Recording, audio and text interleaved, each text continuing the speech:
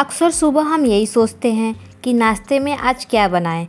बच्चे भी अक्सर जिद करते हैं कि, मम्मी, आज लंच बॉक्स में क्या दोगे? तो क्यों ना आज डिफरेंट बनाया जाए? तो आज फ्रेंड्स मैं लेके आई हूँ गेहूँ के आटे से बनने वाले नाश्ते की रेसिपी जो झटपट से दो मिनट में तैयार करके दे सकते हैं आप। तो चलिए फ्रेंड्स शुरू करते हैं आज का चटपटा लच्छा पराठा, जो दो मिनट में तैयार होने वाला है। तो चलिए फ्रेंड्स शुरुआत करते हैं।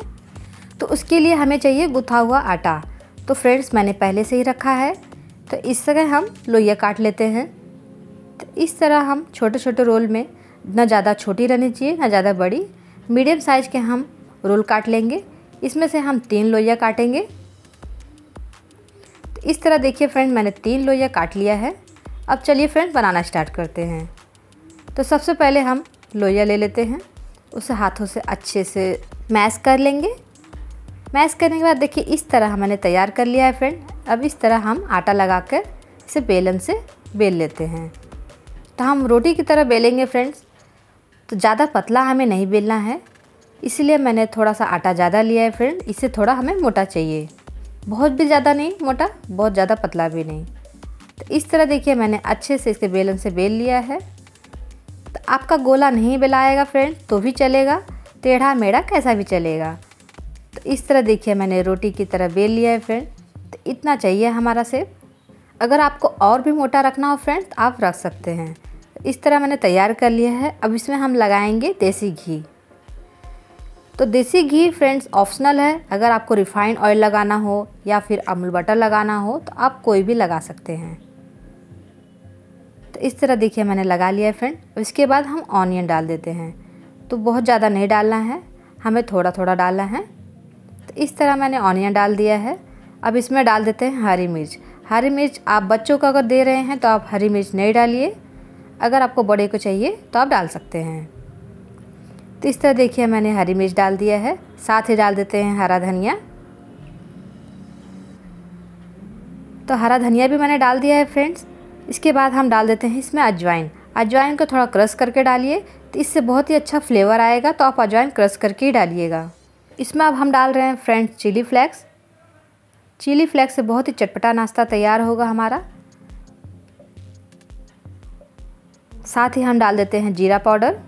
तो थोड़ा सा जीरा पाउडर डाला है हमने, ज़्यादा नहीं डालना है। और अब इसमें हम डाल देते हैं थोड़ा सा खट्टापन के लिए अमचूर पाउडर। अगर अमचूर पाउडर होगा फ्रेंड्स तो डाल दीजिए, नहीं तो चाट मसाला डाल दीजिए। तो बहुत ही अच्छा टेस्ट आता है तो इसलिए आप ज़रूर डालिए। इसके बाद अब हम डालते हैं सीक्रेट अपना मैगी मसाला। मैगी मसाला से बहुत ही अच्छा टेस्ट आएगा फ्रेंड बच्चों को तो काफ़ी पसंद आएगा। इस तरह आप एक बार ज़रूर डाल के देखिए फ्रेंड्स बच्चों को बहुत ही पसंद आने वाला है। गेहूँ के नाश्ते का आप बनाएँगे भी और बच्चों को हेल्थी भी रहेगा।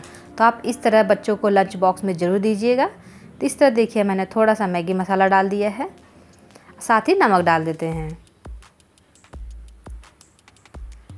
हमने सब सामान डाल दिया है फ्रेंड अगर आपके पास कोई वेजिटेबल्स हो तो उसे आप बॉईल करके इसमें मैश करके डाल सकते हैं। तो इस तरह देखिए, मैंने काट लिया है। इसमें ज़्यादा मैंने सामान नहीं डाला है फ्रेंड्स इस तरह आप काट लीजिए, झटपट नाश्ता हमारा तैयार हो जाएगा। तो देखिए, इस तरह आप फोल्ड कर लीजिए। तो बहुत ही अच्छा फोल्ड हो जाएगा। तो इस तरह फोल्ड करते हुए इसे मिला लीजिए। मिलाने के बाद देखिए, इस तरह आप हाथों से प्रेस कर लीजिए।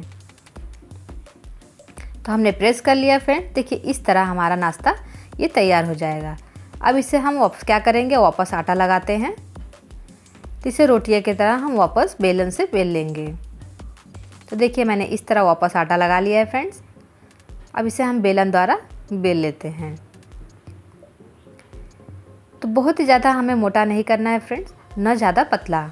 हम मीडियम रखेंगे इसे। तो इस तरह देखिए मैंने फ्रेंड्स बेलन से बेल लिया है। ज़्यादा हमें नहीं बेलना है, बस इतना ही साइज़ हमें बेलना है। तो फ्रेंड्स देखिए, इस तरह मैंने बेलन से बेल के इसे तैयार कर लिया है। बहुत ही ज़्यादा मोटा नहीं है नंबर बहुत ही ज़्यादा पतला।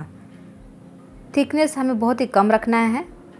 तो देखिए, इस तरह मैंने तैयार कर लिया है फ्रेंड्स अब इसी तरह हम दूसरा भी बना लेंगे। तो फटाफट से दूसरा भी रेडी कर लेते हैं। तो इसी तरह आप सब बना लीजिए फ्रेंड्स तो देखिए, इस तरह मैंने इसको भी फोल्ड कर दिया है, अच्छे से मिलाकर इसे भी हम बेलन से बेल लेते हैं। तो हमारा इसी तरह बेल के तैयार हो गया फ्रेंड अब चलते हम तवा रखते हैं। तो हमने तवा रख लिया है गैस पर, इस पर हम अपने लच्छा पराठा डाल देंगे। तो हमें इसे फ्रेंड्स पराठा या रोटी जैसे आप सेकते हैं, उसी तरह सेकना है। तो इस तरह देखिए मैंने इस पर गर्म करा, अभी थोड़ा सा गर्म हो जाए तो हम इसे पलट लेंगे। तो एक साइड का हमारा सीख गया है तो इसी साइड दूसरा भी सेक लेंगे। साइड साइड हम थोड़ा सा प्रेस कर लेते हैं ताकि अच्छे से सीख जाए। तो थिकनेस देखिए फ्रेंड, इस तरह होना चाहिए। अब इसे हम पलट लेंगे। तो पलटने के बाद इसमें फ्रेंड्स अब हम अमूल बटर डाल देते हैं। अगर आपको अमूल बटर ना डालना हो तो आप देसी घी रिफाइंड ऑयल कुछ भी लगा सकते हैं। तो इस तरह मैंने अच्छे से प्रेस करके लगा दिया है। अब इसे हम पलट लेंगे। तो दोनों साइड अच्छे से इस तरह सेक लेंगे फ्रेंड्स देखिए हमारा इस तरह पराठा बनकर तैयार हो जाएगा। बहुत ही बढ़िया लगता है पराठा फ्रेंड्स आप झटपट से दो मिनट में लंच बॉक्स बच्चों को बनाकर रेडी कर सकते हैं। यकीन मानिए, आप जब भी बनाएँगे, बहुत ही टेस्टी बनेगा और गरम गरम बहुत ही टेस्ट इसका अच्छा लगता है। तो आप इस तरह ज़रूर ट्राई कीजिएगा। तो इस तरह हम सब बना लेते हैं फ्रेंड फटाफट। तो फटाफट इस तरह नाश्ता बनाकर आपका रेडी हो सकता है फ्रेंड्स आप एक बार ज़रूर ट्राई कीजिएगा इस तरीके से। मैगी मसाला से बहुत ही अच्छा फ्लेवर तो आता ही है, साथ ही साथ बच्चों को काफ़ी पसंद आएगा। तो इस तरह फ्रेंड देखिए, बहुत ही नरम हमारा लच्छा पराठा बनकर रेडी हुआ है। इस तरह देखिए, इसमें अच्छे से सब थिकनेस है, बहुत ही बढ़िया लगता है। आप इस तरह ज़रूर ट्राई कीजिएगा। बच्चों को काफ़ी पसंद आएगा। आप केचप चटनी, दही के साथ, किसी के साथ खाइए, बहुत ही अच्छा लगता है।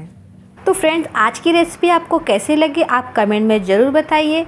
अगर आप हमारे चैनल पर नए हैं फ्रेंड्स तो प्लीज़ मेरे चैनल को सब्सक्राइब कर दीजिएगा। बेल आइकन को भी प्रेस कर दीजिएगा, ताकि आने वाले वीडियो को नोटिफिकेशन आप तक पहुँच सके। तो चलिए फ्रेंड इसी तरह मिलते हैं नेक्स्ट वीडियो में नई रेसिपी के साथ। तब तक के लिए बाय फ्रेंड्स टेक केयर